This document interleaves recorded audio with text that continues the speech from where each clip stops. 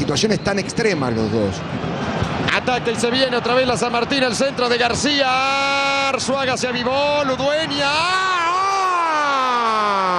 ¡Gol!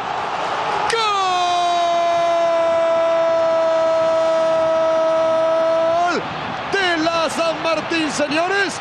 A los 10 minutos lo hizo Gonzalo Ludueña. Dos para la Universidad San Martín, cero para River. No hay peor astilla que la del mismo Ludueña. Nacido allí, en River. Centro. Una defensa que mira. Arzuaga que la deja pasar. Un remate que no es muy fuerte desde fuera del área. Y se mete esquinado, abajo. Para poner a el equipo local 2 a 0, el mismo resultado del año pasado, en un segundo tiempo.